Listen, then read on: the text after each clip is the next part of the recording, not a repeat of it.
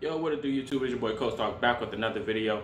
Hit that like button, go ahead and comment, and also subscribe if you are new. This is just a brief update. We have signed our backup quarterback, which is Brian Hoyer, that played for the New England Patriots. He signed a three-year deal for $12 million.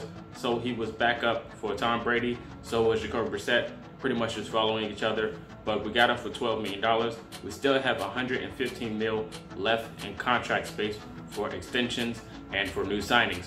Um, this is a pretty decent backup. Um, everyone has high expectations for Brian Hoyer.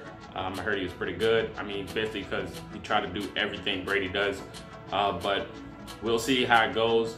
Um, in my opinion, I like Paxton Lynch. I don't think anyone else does.